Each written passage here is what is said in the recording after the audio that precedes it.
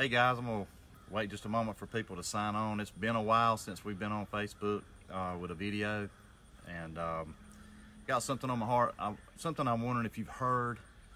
Um, maybe you're going through a tremendous battle, a low point in life, and I, there's something you need to hear. And maybe you're fine. Maybe you're on the mountaintop, you know, and you're doing great. But somebody you know needs to hear this. So I'm gonna ask you to please share this and. Um, uh, let me know where you're watching from.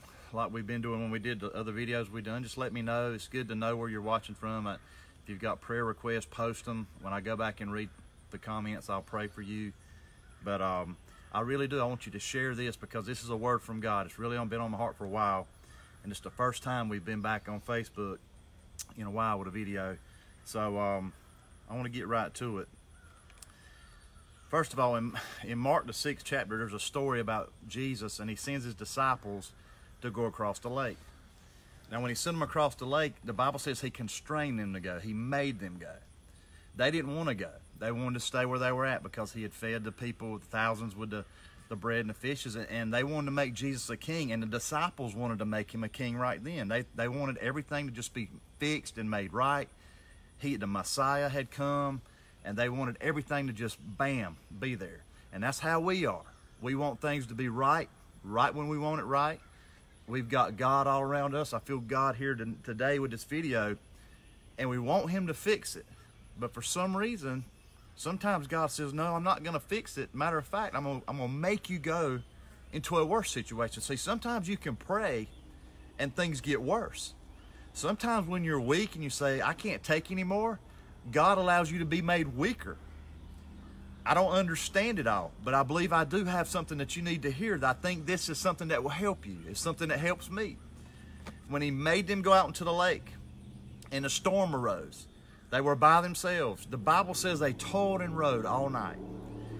At the fourth watch of the night, which is around 3 a.m., Christ comes walking on the water to where they're at. Now, this is what gets me. This is what really shakes me up the Bible says that he saw them from a distance. See, it was dark. God sees you in the darkest place you're at. He sees everything that's going on. He sees your struggle. He sees the problems you're facing. He knows everything about you. As a matter of fact, the Bible says he sees the sparrow when he falls in the woods. There's nothing that God doesn't see and God's not in control of. The Bible says the hairs on your head are numbered. He saw them. But even though he saw them, the Bible says he would have passed them by but they called out to him. Now listen, he knows what they're going through. He knows how bad it is. He sent them in the storm, and yet he was still going to pass them by. He wanted them to understand without a shadow of a doubt that in their weakest moments, in the greatest trial of your life, God sees you, and if God chooses to allow you to stay there for a season, trust Him. Trust Him. Don't trust what you see. Don't trust what you know. Don't trust what other people try to tell you. You trust God because God has got you in the palm of his hand. Some people say, how does, does God really know me? God says he's engraved us in the palm of his hand. And this really touched my heart. I've heard this scripture a hundred times. You've heard it too. But I'm going to ask you right now, have you heard? Have you heard this? Isaiah chapter 40, verse 28. Hast thou not known? Hast thou not heard? That the everlasting God, the Lord, the creator of the ends of the earth, fainteth not, neither is weary. There is no searching of his understanding. He giveth power to the faint, and to them that have no might he increaseth strength. Even the youth shall faint, and the weary and the young men shall utterly fall. But they that wait upon the Lord shall renew their strength. They shall mount up with wings as eagles. They shall run and not be weary, and they shall walk and not faint if you if you drop dead, God has the power to raise you up.